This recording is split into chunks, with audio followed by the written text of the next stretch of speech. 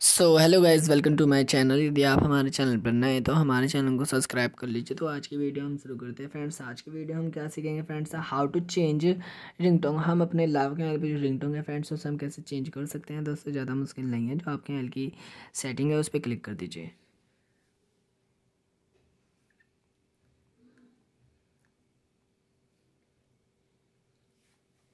नीचे तरफ़ स्क्रॉल कीजिए, यहाँ से आपको एक ऑप्शन मिलेगा।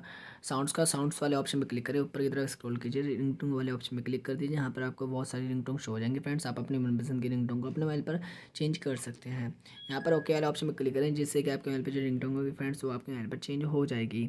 आई थिंक हमारी वीडियो आपको पसंद आई होगी तो हमारी वीडियो को लाइक कीजिए कमेंट कीजिए शेयर कीजिए। हम आपको नई वीडियो साथ मिलेंगे फ्रेंड्स हमारी वीडियो देखने के लिए थैंक यू गाइस तब तक के लिए बाय बाय